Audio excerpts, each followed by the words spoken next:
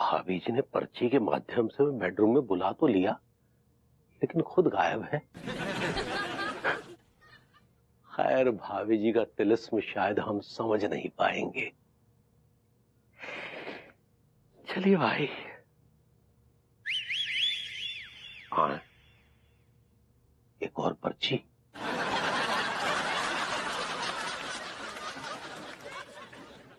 जैसे ही ये chit bedroom में मिले please come in the bathroom आए।